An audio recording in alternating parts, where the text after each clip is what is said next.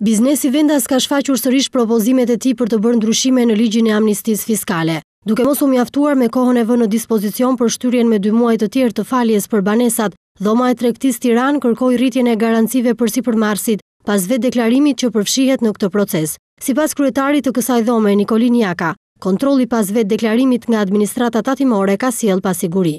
Mazhoranca apo parlamenti të bëjë ndryshimin e amnistisë fiskale për atë çfarë ne kemi kërkuar dhe vazhdojmë të kërkojmë me forcë.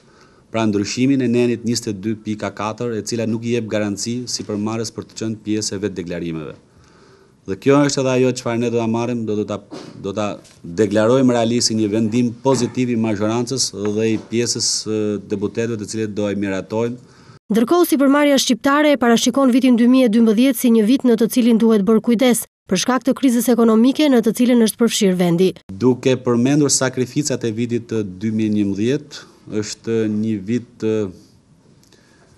që duhet parë me shumë kujdes, qoftë në fushën e fokusimit të investimeve apo nismave të reja, por njëkohësisht duhet parë edhe me kujdes në mënyrë që mos të bimë në pesimizëm dhe mos të ketë nisma apo sipërmarrje duke menduar që do jemi të prekur apo të ndikuar nga kriza ekonomike që ka prekur tashmë dhe që vendet e tjera po dalin por që në Shqipëri po transferohet me vonesë. Deklaratat e Jakës u bënë në takimin e fundvitit me përfaqësuesit e medias shqiptare, në një prezantim përmbledhës të të gjitha zhvillimeve ekonomike të biznesit për vitin dy mijë e njëmbëdhjetë.